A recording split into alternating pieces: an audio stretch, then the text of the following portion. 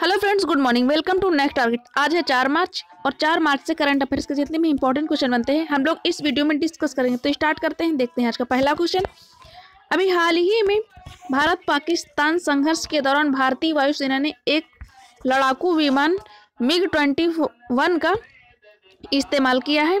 यह MiG twenty one का निर्माण किस देश ने किया है? तो इस मिग ट्वेंटी वन का निर्माण किया है रूस ने। इस क्वेश्चन का दूसरा ऑप्शन सही है। विंग कमांडर अभिनंदन ने इसी फाइटर का यूज़ किया और पाकिस्तान के एफ़ सिक्सटीन को मार गिराया।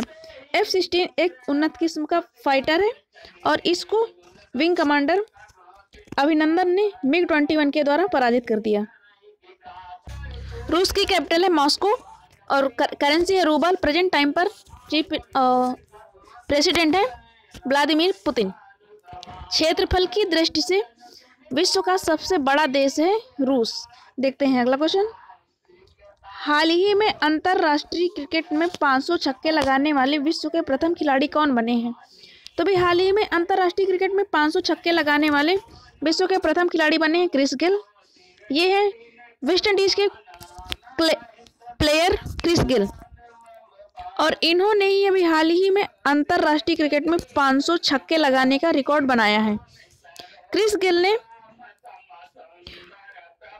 अंतरराष्ट्रीय वनडे में भी 300 छक्के लगाने का रिकॉर्ड बनाया है।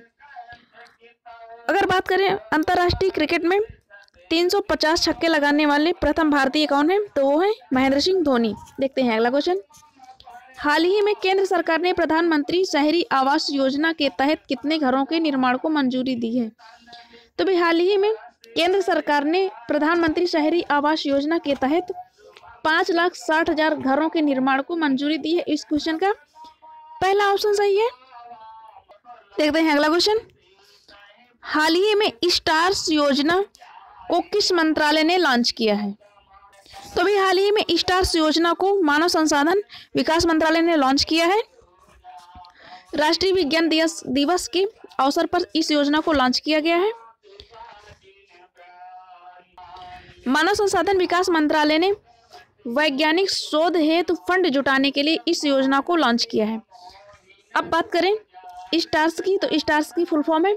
Scheme for translation translational advanced research in scheme science तो इस क्वेश्चन का दूसरा ऑप्शन सही देखते हैं। अगला क्वेश्चन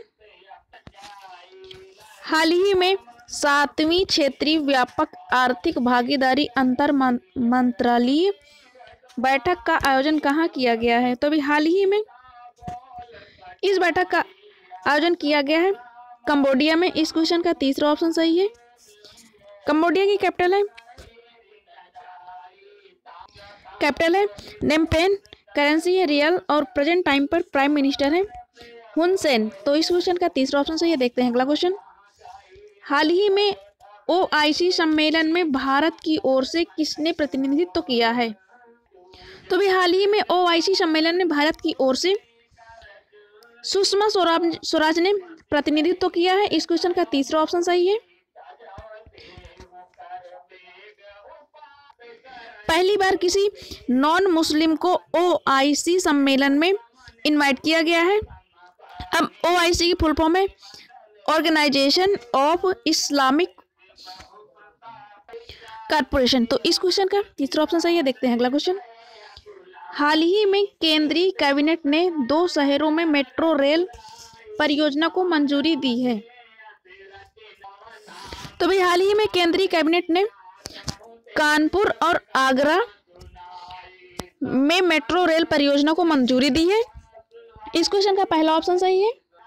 कानपुर मेट्रो में लगभग ग्यारह हज़ार छिहत्तर करोड़ रुपए की लागत आएगी और आगरा मेट्रो में लगभग आठ हज़ार तीन सौ उन्यासी रुपये करोड़ रुपए का खर्च आएगा। और इन दोनों परियोजनाओं को पूरा करने का लक्ष्य है पाँच साल में। तो इस क्वेश्चन का पहला ऑप्शन सही है देखते हैं अगला क्वेश्चन हाल ही में केंद्र सरकार ने देश में इलेक्ट्रिक वाहनों के विनिर्माण और इस्तेमाल को बढ़ावा देने के लिए किस योजना के दूसरे चरण को मंजूरी दे दी है? तो भी हाल ही में केंद्र सरकार ने इलेक्ट्रिक वाहनों के विनिर्माण और इस्तेमाल को बढ़ावा देने के लिए फेम योजना के दूसरे चरण को मंजूरी दी है। इस क्वेश्चन का पहला ऑप्शन सही है। फेम की फुल फॉर्म है। Faster adoption and